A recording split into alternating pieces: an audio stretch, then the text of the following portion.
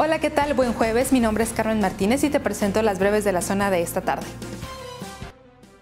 A diferencia de otros municipios que ya comenzarán con la vacuna anti-COVID para personas de 50 a 59 años, León todavía no tiene la segunda aplicación para los adultos mayores y aún no hay una fecha definida por la federación para que esto suceda. Por tal motivo, el alcalde Héctor López Santillana urgió al gobierno federal para confirmar el número de biológicos con los que cuenta, así como el día en que se comenzaría con la aplicación.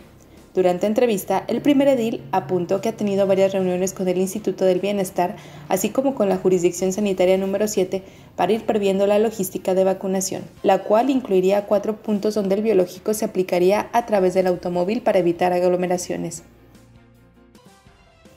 Una década no ha cambiado para bien la situación de desapariciones, aseguró la activista y miembro del colectivo de búsqueda de personas Justicia y Esperanza, Evelina Guzmán Castañeda, al cierre de la séptima caravana internacional de búsqueda.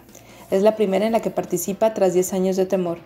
El recorrido de la caravana por el estado de Guanajuato durante la semana pasada no regresó a ningún desaparecido con sus familias, con todo y las buenas impresiones que los integrantes de la comitiva se llevaron de la organización e instalaciones de la Fiscalía y la buena atención de las autoridades que estuvieron a la altura según la versión oficial. La última cifra del Registro Nacional de Personas Extraviadas y Desaparecidas antes de ser extinto, en abril de 2018, señalaba que en Guanajuato había 621 personas desaparecidas y para este 2021, en cifras de la Caravana Nacional de Búsqueda, refieren a 2.556 desaparecidos en el estado. Las remesas que llegaron de guanajuatenses que radican en Estados Unidos se incrementaron en relación al año anterior, aún y con pandemia de COVID-19, y se estima que llegan al día 10 millones de pesos de remesas al Estado.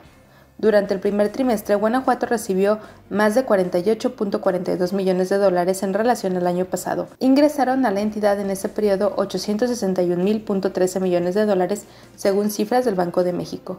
Juan Hernández, secretario del Migrante y Enlace Internacional, expuso que a principios de la contingencia sanitaria se estimaba que caerían las remesas, pero fue todo lo contrario.